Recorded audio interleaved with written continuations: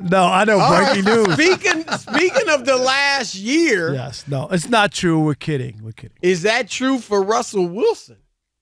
Rob, it ain't going good in Denver. Now, Sean Payton was supposed to go in there and turn everything around, according to many people, and according to him too. All right. Remember, he went off on Nat Hackett, and Nat was bad. I Uh, mean, I, I'm not going to act like Nat wasn't bad. He was bad, but it just was bad karma, Chris. You don't. That's why you don't do that. Like I, I thought. Don't. Everybody knows he was bad. That's why you got the job, right? That's why you're there. If he was good, you wouldn't be there. You're there to clean the mess up. You don't need to, to rain on his parade or or or uh, dance on his grave, which was which was awful. But anyway, uh, now look at him. Now look at where they are, Chris. well, they're here's where 0 they're 2. They're 0 and 2. Lost to the they bad Raiders. played right. The Raiders beat them by a point. The Commanders, who are, are pretty decent, we'll see if they make. They the were playoffs, down bad, though. They were down They were big. twenty-one three on the Commanders at home. at home and lose that game 35-33. And here's the the ironic thing, Rob. And and look, obviously Sean Payton's a better coach than Nat Hackett. But as much as Payton killed Nat Hackett's job last year that he did, Nat Hackett was two and one at this point. Uh, yep. At one Think point. about that, Chris. Yeah. I mean, he didn't start 0 and 2. And so Sean is a good coach. Uh, we've talked about it. He did have three straight seven and nine seasons With the Hall New of Fame quarterback. Right. Drew he's, he's look Super Bowl in New Orleans. Rob, we remember what the Saints were like before he got there. They used to wear bags over their head. Right. They were the Aints. So he that's a big part of why he's gotten all the love. I mean, he's done a good job. Pro- maybe a tad overrated, but still a very good coach. But so far, not so good, Rob. And there are some who are thinking he may be throwing Russell Wilson over on uh, you know, throwing uh Russell Wilson uh over the butt, running the bus over him. What's the term? I'm, I'm like drawing a Throwing, blank. no, th- throwing him off the bus. throwing or- him under the bus. under the bus, under the bus. When I say running the running him over with With the the bus, bus, right. He's Throwing him running him over with the bus. but here's what he said after the game yesterday. That's got to change. We had to burn timeouts in the first half, and I'm not used to doing. We got to be better, and uh, I've got to be better. Russ has got to be sharper with with getting it, getting the play out, and then we got to look at how much we have in. But you know, if we need to wristband it, we will.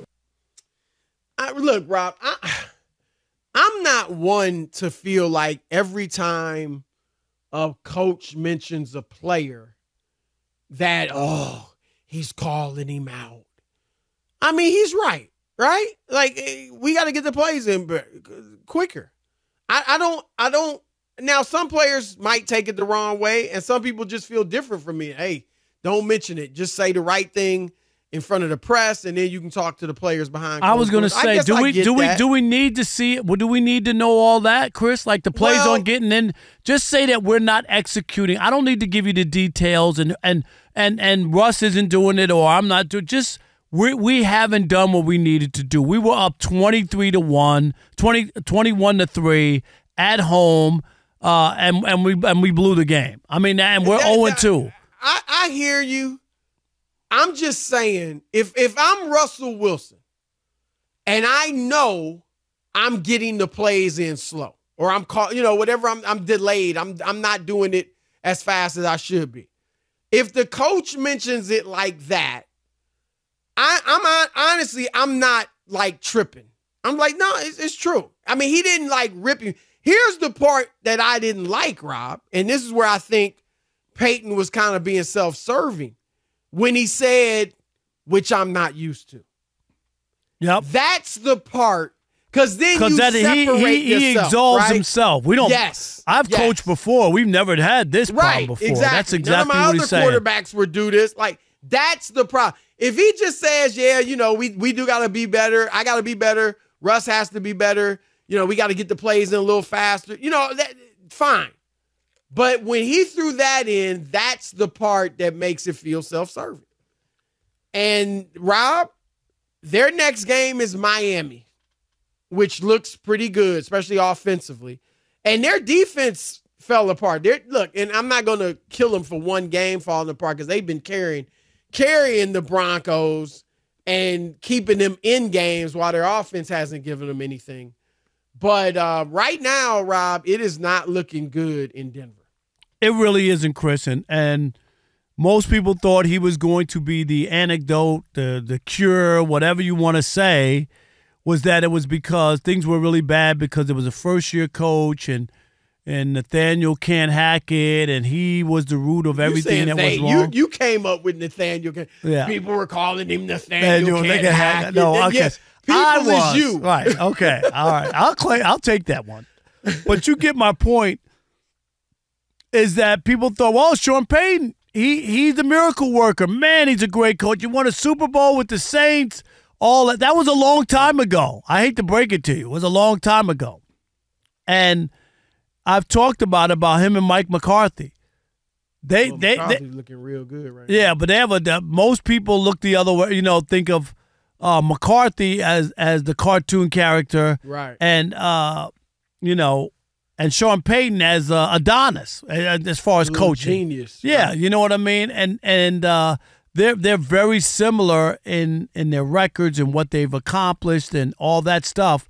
And I just wonder, you know, how bad is this going to be in Denver? Like like when I saw them up think he'll twenty one to three, Chris. Some I, people think he's going to ultimate. I mean, we'll see. Obviously, the games need to be played, and we'll see how bench who well Russ plays. But yeah, some people with look, that contract has he even started his extension yet? No, but he could. They could get out of it after this. I mean, they they're going to have a heck of a cap hit.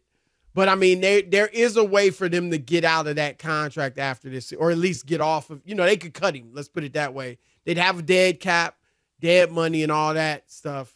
Um, but they could get rid of Russ after this. And, and Chris, did you just see what happened to Nick Chubb's knee? no, I saw it he went scored. bent backwards. He Oh. went bent the opposite way. Looks like it could be, and it's not. We're not Oh. reporting this. A season-ending. Uh, Is uh, somebody saying that? yeah. Because I'm I'm on, I must be on the delay. I saw he scored. It was on the Rob- touchdown. Rob right? No, he didn't score. That was his backup Oh. who scored. He was knocked out a few Oh. plays before, taken to the back on the cart, and Mary Kay Cabot already reporting he's officially ruled out of the game with a left knee injury. Twitter doctors, you know, they're out in full force. Hey, but you know when what- your knee bends back the opposite direction, See, I don't it's a very see the graphic hi- video. Highlight. do It, it Yeah, bends back the, all the way It because I have the my head opposite down. direction. Ugh. And in fact, on the uh, Monday Night Football broadcast, they chose not to show the replay on television after they showed the replay in the stadium. And you hear the collective groan of the Steelers fans. So they, they didn't. So no wonder they we haven't seen it it. So on they're not showing it again. Yeah, I, I don't want to see it. I didn't see it. I, I saw somebody score for the Browns, and I just assumed it was Chubb. But okay, so I didn't see that that part. Um, wow, that's Nick Chubb. Look, there are a handful of running backs that are really like great. Derrick Henry, Nick Chubb.